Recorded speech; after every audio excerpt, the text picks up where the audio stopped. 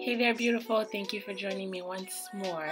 In this video I will be blow drying my hair using the tension method and if you would like to see how I got this beautiful fluffy result, please keep on watching. So I'm starting with freshly washed hair.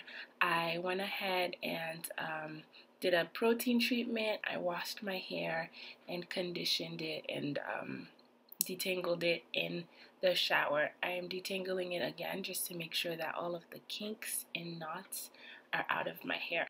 So I'm applying about a dime size of my Cantu leave-in conditioner to make sure that my hair is moisturized and ready to go. Then I am taking my Carol's Daughter Straight Blow Dry Cream to protect my hair against this heat and also to add shine and softness. So I'm taking my blow dryer and putting it on the cool setting for about a minute. I'm going to hold my hair taut and then in up and down motion I'm going to allow for the heat in the blow dryer to dry my hair as as well as straighten it um, or stretch it not straighten. Um, so now I'm transitioning to a high heat and again for about a, a minute I'm going to um, hold my hair down and let the heat let the blow dryer do its thing.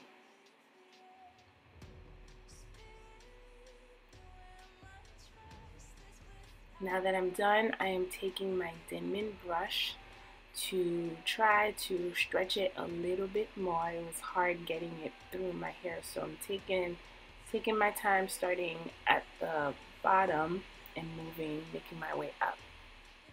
And that will allow the hair to um, stretch out some more. Again, I'm not going for a super, super stretched look. I just want my hair to be somewhat stretched so as you can tell, I'm not putting the blow dryer too close to my hair um, because I'm really just not going for that look.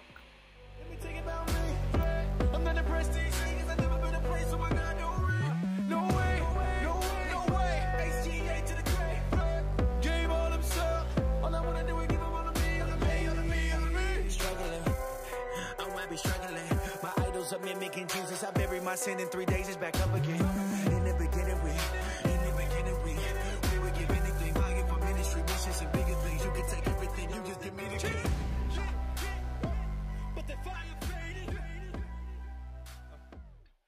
Now that I'm all done with this section, I'm going to use my white tooth comb and comb it out, twist it up, and put it away. I've gone ahead and completed that section off camera. And here I'm just showing you guys a little comparison of what my hair looks like in its most natural state versus when it's blow dried. Shrinkage is really all.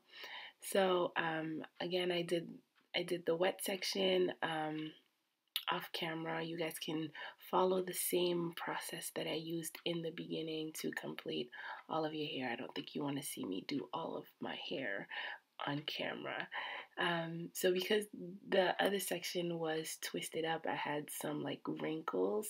So I'm just using the blow dryer to get those out and um, straighten out the little parts that were, um, you know, a little wrinkly from the twist. You guys can clearly tell that I'm feeling this blowout um, and I'm just messing around with it because I really like how fluffy it looks. But here is the end result. If you did enjoy watching this video, please don't forget to give it a thumbs up, comment, share, and subscribe to my YouTube channel. But before you leave, don't forget to do everything with love in your heart. Peace.